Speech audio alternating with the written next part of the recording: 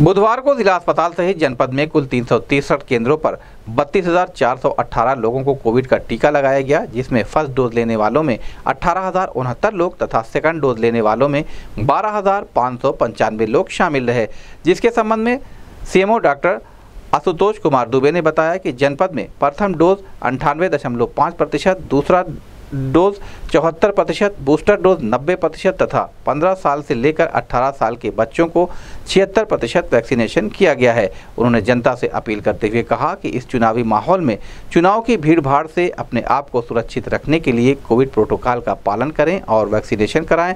उन्होंने बताया कि तीन मार्च को जनपद लोकतंत्र का महापर्व मनाएगा। उन्होंने कहा कि पहले मतदान, फिर जलपान। इस संबंध में गोरखपुर न्यूज़ से बात करते हुए सीएमओ डॉक्टर आशुतोष कुमार दुबे ने कहा। किसी विभाग में? हाँ। पाँच ग्यारह छिहत्तर। ना उस कल के लिए जो लोग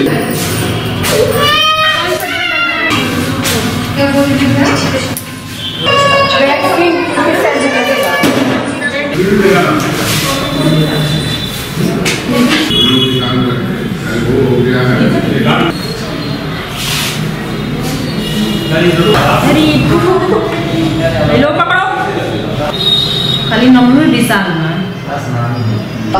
देखिए, आज हमारे यहाँ 432 स्थानों पर टीकाकरण चल रहा है और आप लोगों के लगातार सहयोग की वजह से हम जो है 98.5 परसेंट पहली खुराक और दूसरी खुराक जो है चौहत्तर परसेंट और प्रिकाशन डोज जो है हम 90 प्रतिशत लगा चुके हैं और स्कूली बच्चों को जो 15 से 17 साल के हैं, इनको हम छिहत्तर परसेंट बच्चों को टीका लगा चुके हैं। और आप लोगों के नियमित सहयोग के कारण ही प्रतिदिन हमारे टीकाकरण केंद्र पर भीड़ उमड़ रही है, लोग आ रहे हैं।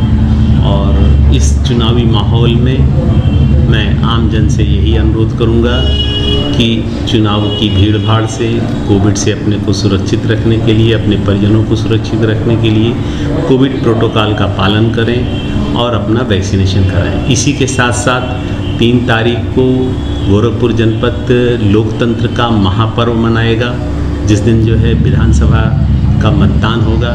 मैं सभी नागरिकों से अनुरोध करूँगा कि पहले मतदान, फिर जलपान का नारा बुलंद करें, अपना फ़र्ज़ निभाएँ और तीन तारीख को अवश्य मतदान करें।